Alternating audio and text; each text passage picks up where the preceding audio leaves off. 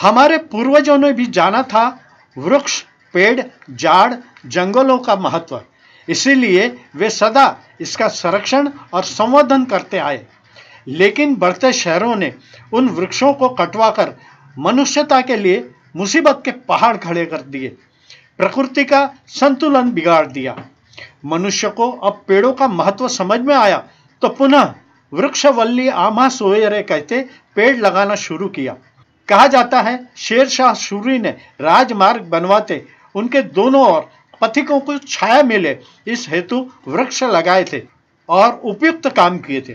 बात चल रही है वृक्ष लगाने की तो मनपा अमरावती द्वारा सड़क के किनारे लगे वृक्ष और उसकी बड़ी टहनिया, जो राहदारी में अड़थड़ा निर्माण करती है तथा प्रकाश व्यवस्था को प्रभावित करती है, ऐसी टहनिया मात्र काटने लाखों के खर्च से एक मशीन मनपा ने खरीदी थी।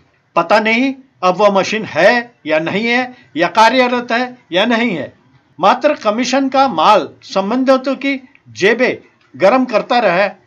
खैर, महानगर में सड़कों में दो तरफा लगे सुंदर पेड़ों की टहनियाँ इन दिनों काफ़ी बढ़ गई है, जो प्रकाश व्यवस्था तथा राहगीरों को अड़चन कर रही है।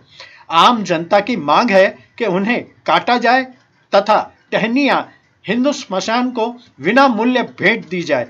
समाचार संकलन अशोक भाई जोशी।